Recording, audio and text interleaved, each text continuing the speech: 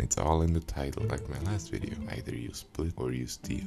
And depending on what the other person is doing, if they split or steal, you either split the pot or you both lose. Or or one of you takes it because, you know, if one splits and the other steals, the one that steals actually gets it. But if both steal, you're both not getting anything. So basically, this game is kinda dumb.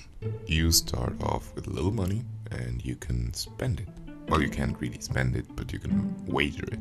You can either split it or steal it. You know, that's the name of the game says. And if you do that, I think seven or eight times, you're gonna get into high stake games because it adds up. It gets more and more. And in those level 9 or level 10 games, it's a lot of money. You can win a lot of money, or you can split a lot of money, or you can lose a lot of money. You may be asking, oh, what are you gonna do with that money? Like, all you can do is splitting or stealing? No, no, no, no.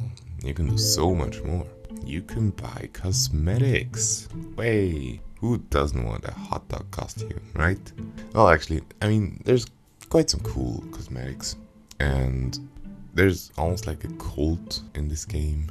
Like, most people start off by joining the hot dog faction, the Brotherhood of the Sausage, you know? And the hot dog faction always splits. And it works, kinda.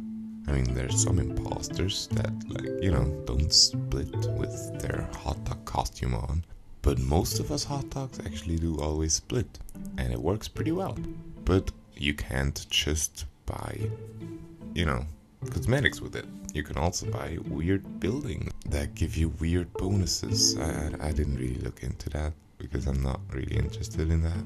All I bought is like hot dog stands, so yeah, I think like my splitting gives me more money or something. I, I don't know.